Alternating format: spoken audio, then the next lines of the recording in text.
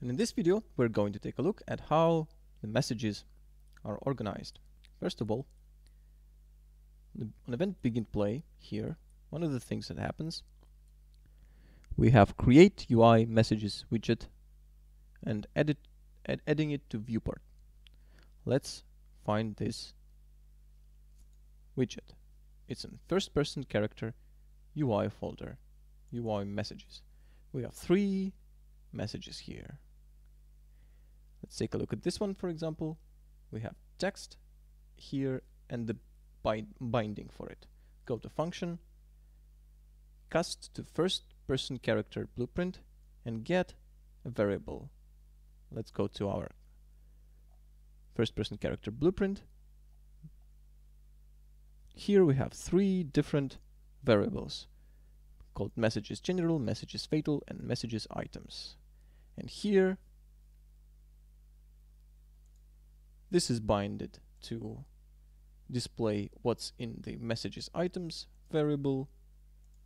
Here we have this pixelated font for messages fatal and obviously the last one for the general messages. So this means that uh, the text here that will be displayed. See it's text block by default. Uh, it's it is binded to whatever is in these variables here in our main blueprint. And by default there's nothing there. So even though we have this widget uh, add to edit to viewport nothing is being displayed because we have nothing in these variables. And throughout uh, uh, the blueprints here and in pickups uh, blueprints. We set these variables to different uh, texts. So we can you see we can we can type text here. And if we type it here from the beginning we will see that displayed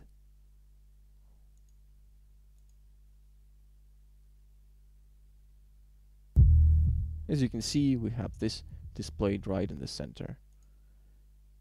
Back to our main blueprint.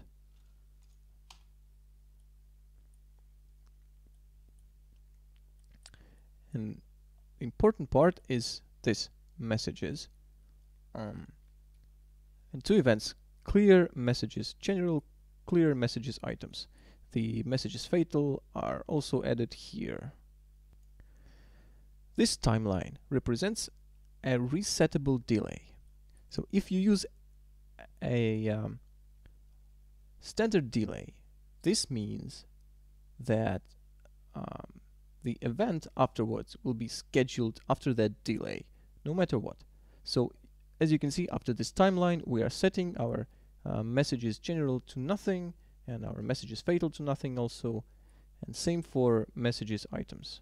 We're setting to to nothing. So uh, in our, for example, taking damage logic, you can see that uh, when we get the message, the fatal messages, after we go to clear message, messages general, clear messages general here as well. So this means that, um, well, in, in case of fatal messages, it doesn't really matter because you will have that mm, happen only once. Mm, but um, with the general messages and items messages, it's quite different. Because, for example, when we pick up an, an item, if we have a regular delay, then um, it will disappear after 3 seconds. It will not, not th this will be set to nothing and thus disappear after 3 seconds. And if we get another item during this 3 seconds period, it will not cancel the scheduled uh, event after those 3 seconds.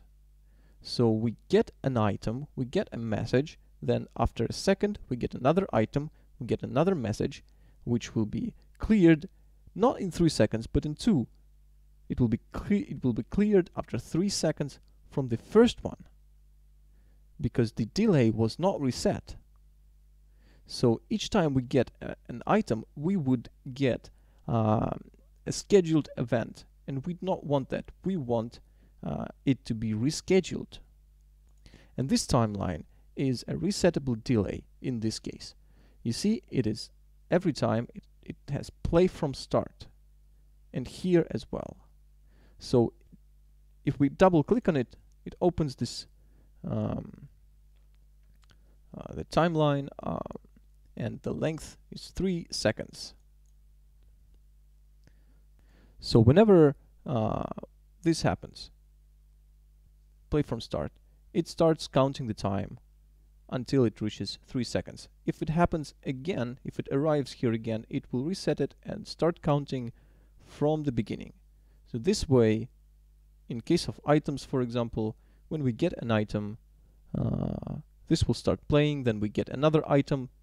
This delay will start playing from zero, and after three seconds, we will uh, set this variable to zero to nothing, and the message will be cleared uh, at an appropriate time. I hope uh, uh, this is this is clear. It is very important to understand the use of timelines instead of using instead of using delays where it is appropriate. Otherwise, you will have a lot of glitches through the game, and we will take a look at the at the use of timelines um, more during the review of uh, of the doors and switches. And I am sure that you have um, experienced these glitches in different games, especially all older games. Like doors closing unexpectedly or lifts going uh, up or down uh, unexpectedly. This is because a, a schedule event was not rescheduled. So to recap, we have a UI added to viewport on, on begin play. Uh, the texts in the UI are binded to these variables, which are nothing uh, by default, that are being changed during the game uh, to a certain text that gets displayed, uh, that gets picked up by the UI and displayed, and then um, we usually go to clear messages it arrives here, resets the timeline, and uh, clears the message. And in the next video, we will take a look at our pickups.